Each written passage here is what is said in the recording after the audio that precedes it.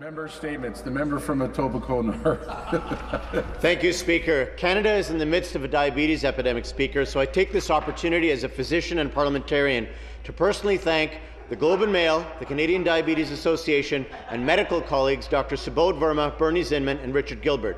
First, I'd like to salute, thank, and recognize the Globe and Mail, and in particular, my effervescent editor, Tralee Pearce, Globe Life editor, Catherine Hayward, and health editor, Sarah McWhirter.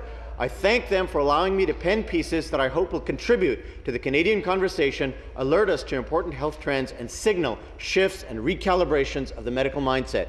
It's been said that medicine is the most scientific art and the most artistic science.